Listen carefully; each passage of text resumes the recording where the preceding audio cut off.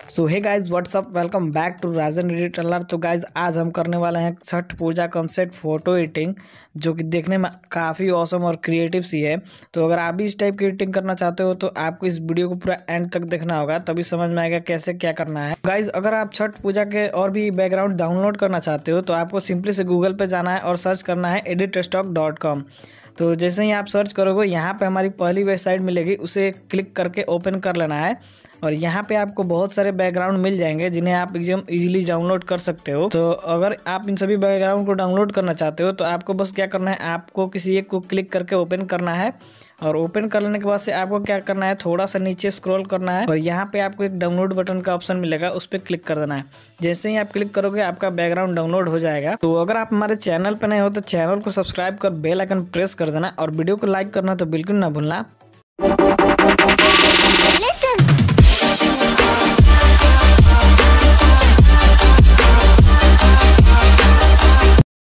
तो सबसे पहले आपने क्या करना है, इस वाले बैकग्राउंड को ऑटोडेस्क एप्लीकेशन में ओपन कर लेना है। तो यहाँ पे आप देख सकते हो हमने अपने ऑटोडेस्क में ओपन कर लिया है। उसके बाद आप अपने क्या करना है टूल्स पे क्लिक करना है और इम्पोर्ट इमेज वाले ऑप्शन पे क्लिक करना है। और यहाँ से क्या करना है, आपने इस गर्ल के पीएनजी को ऐड कर लेना है। तो यहाँ पे आप देख सकते हो मैंने इसे पहले से ही स्मूथ कर लिया है तो बस आपको इसे ऐड कर लेना है। और उसके बाद क्या करना है, आपने अगेन टूल्स पे क्लिक करना है और इंपोर्ट इमेज वाले ऑप्शन पे क्लिक करना है और इस बार आपने अपने कटआउट को ऐड कर लेना है। तो अगर आपको एचडी में कटआउट बनाने नहीं आता है तो वीडियो के डिस्क्रिप्शन में लिंक है, वहाँ से आप एकदम इजिली सीख सकते हो। तो यहाँ पे आप देख सकते हो हमने कितना अच्छे तरीके से एचडी में कटआउट बना लिया है और इसको भी मैंने पहले से ही स्मूथ कर लिया है ताकि वीडियो ज़्यादा लंबी ना हो जाए और मैंने हर वीडियो में बताया कि कैसे फेस को स्मूथ किया जाए। तो अगर आपको नहीं आता है तो आप वीडियो के डिस्क्रिप्शन लिंक है वहाँ से आप एकदम इजिली सीख सकते हो। तो इसके बाद हम क्या करेंगे? अगर टूल्स पे क्लिक करेंगे और इम्पोर्ट इमेज वाले ऑप्शन पे क्लिक करके इस बार क्या करेंगे? कुछ पीएनजी को ऐड करेंगे। तो यहाँ पे पहले इस पानी की पीएनजी को ऐड कर लिए हैं और इसको कुछ स्टेप से नीचे के साइड में सेट कर लेंगे। तो यहाँ पे जैसे इस पी को हम सेट करेंगे तो हमें लगेगा कि हमारी आधी पानी के अंदर है और आधी बॉडी बाहर है। अब उसके बाद क्या करना है? अगेन टूल्स पे क्लिक करना है और यहाँ से इंपोर्ट इमेज वाले ऑप्शन पे क्लिक करना है और इस बार क्या करना है? इस पीएनजी को ऐड कर लेना है। और इस पीएनजी को क्या करना है? यहाँ पे इसको नीचे के साइड में कुछ इस टाइप से सेट कर लेना है और इसके लेयर को क्या करना है? आपने नीचे कर देना है। मेन बैकग्राउंड के जस्ट ऊपर कर देना है।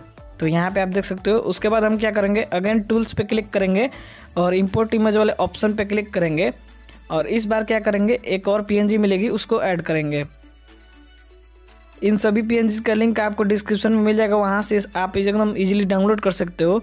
तो इस पीएनजी को हम क्या करेंगे, ऊपर की साइड में कुछ इस टाइप से सेट कर लेंगे। देन उसके बाद आगे टूल्स पे जाएँगे इम्पोर्ट इमेज में जाएँगे।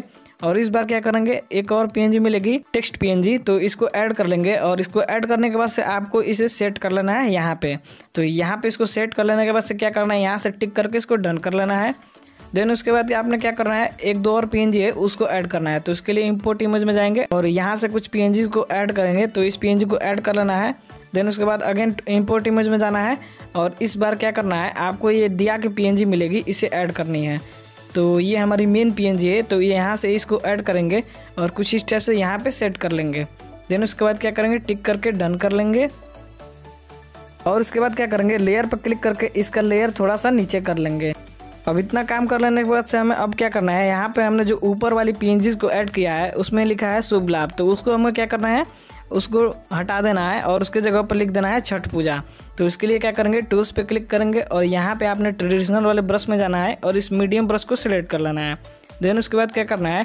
आपको इस पॉइंट पे क्लिक करना है और कलर फिल वाले ऑप्शन पे क्लिक करके यहाँ से येलो कलर को फिल कर लेना है। उसके बाद क्या करना है? सिंपल से इसको इरेज कर लेना है।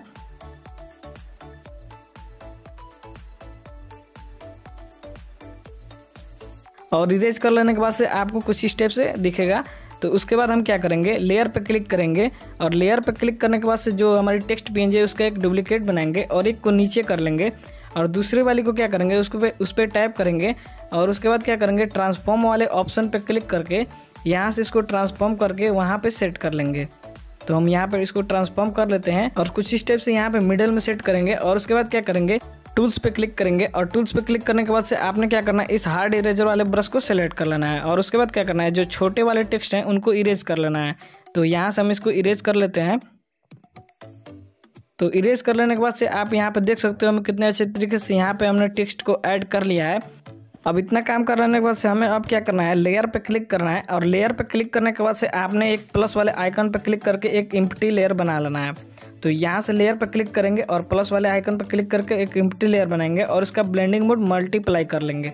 देन उसके बाद क्या करेंगे? टूल्स पे क्लिक करेंगे और यहाँ पे आपने ट्रेडिशनल वाले ब्रश पे जाना है और इस हार्ड एयर ब्रश को सेलेक्ट कर लेना है। देन उसके बाद क्या करना है? पॉइंट है, उस पर क्लिक करना है और जो कलर है, उस पर दो बार नीचे के साइड में स्क्रॉल करना है।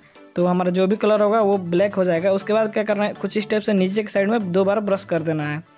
तो यहाँ पे हमने एक साइडो बना लिया है और उसके बाद क्या करेंगे? इस साइडो को एडजस्ट कर लेंगे। इसके साइज़ इसके ओपोसिटी को कुछ स्टेप से रख लेंगे। अब उसके बाद क्या करेंगे, हमने एक लास्ट पीएनजी को नहीं ऐड किया है तो उसको ऐड कर लेंगे। ये तिलक के पीएनजी है तो यहाँ पे हम क्या करेंगे, तिलक के पीएनजी को ऐड करेंगे। तो इसके लिए टूल्स पे क्लिक करेंगे और इम्पोर्ट इमेज वाले ऑप्शन पे क्लिक करेंगे और यहाँ से इस तिलक के पीएनजी को ऐड कर लेंगे। उसके बाद क्या करेंगे, इसको कुछ स्टेप से यहाँ पे सेट कर लेंगे और देन यहाँ से क्लिक करके डन कर लेंगे। डन करने के बाद से आपने क्या करना है, उसके ब्लेंडिंग मोड को मल्टीप्लाई कर लेना है। देन उसके बाद क्या करना है? इसकी ऑपोसिटी को हल्का कम कर लेना है। और उसके बाद यहाँ से डन कर लेना है। तो यहाँ पे हमने सभी पी को ऐड कर लिया है।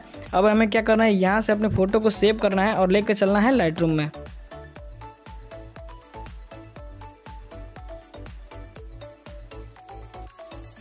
तो लाइट में आने से पहले आपको डिस्क्रिप्शन में एक लाइट के प्रीसेट का लिंक मिलेगा। उसे डाउनलोड कर लेना है और उसको लाइट में ऐड कर लेना है। देन उसके बाद क्या करना है? उसे ओपन करना है। थ्री डॉट पर क्लिक करना है। और यहाँ से कॉपी सेटिंग वाले ऑप्शन पे क्लिक करके सभी सेटिंग्स को कॉपी कर लेना है। देन उसके बाद आपने चले जाना है अपने फ़ोटो पे और फिर थ्री डॉट पे क्लिक करना है। फिर नीचे आपको पेस्ट सेटिंग का ऑप्शन मिलेगा, उस पर क्लिक करके यहाँ से सेटिंग्स को पेस्ट कर देना है। तो यहाँ पे एक ही क्लिक में हमारी फ़ोटो बिल्कुल औसम रेडी हो जाएगी। आप यहाँ पे बिफोर एंड आफ्टर देख सकते हो। तो अगर आपको ये वीडियो पसंद आई होगी तो वीडियो को लाइक कर देना और हमारे चैनल को सब्सक्राइब कर देना।